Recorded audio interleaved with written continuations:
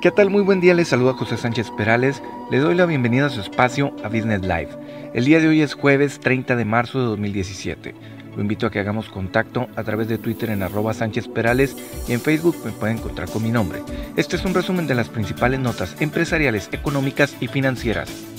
El Banco de México entregó al gobierno 321.653 millones de pesos derivado del remanente de la operación de 2016 lo que representa un incremento anual de 34.5%. Hacienda detalló que estos recursos serán utilizados para el pago de deuda pública, así como para cubrir el déficit presupuestario.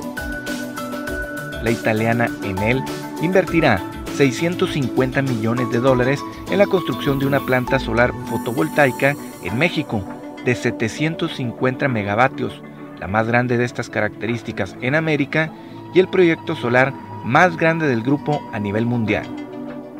La estadounidense Ford Motor Company llamó a revisión a 8.500 vehículos comercializados en México de las marcas Fiesta, Fusion, Transit Connect, Lincoln MKZ y Edge de los modelos 2013 a 2017.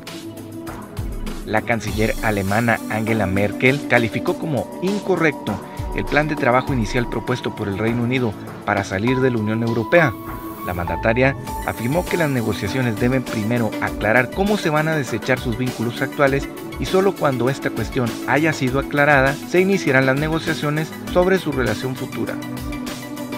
La surcoreana Samsung reveló sus teléfonos inteligentes Galaxy S8 y S8 Plus, los cuales saldrán a la venta el 21 de marzo de 2017 y tendrán un precio de 700 y 850 dólares respectivamente el proyecto denominado como EVA del Startup y Guía Technologies que encabeza Julián Ríos Cantú, emprendedor del TEC de Monterrey, ganó la primera edición de los premios Everest de México con el desarrollo de un biosensor para la detección temprana del cáncer de mama.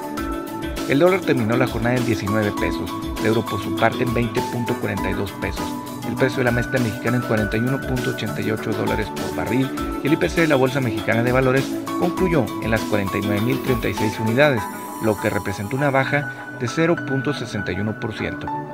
Muchas gracias por su atención. Se despide su amigo José Sánchez Perales. Si le gustó esta información, suscríbase a este canal de YouTube y comparta este video. Que tenga una jornada de mucho éxito. Nos escuchamos mañana.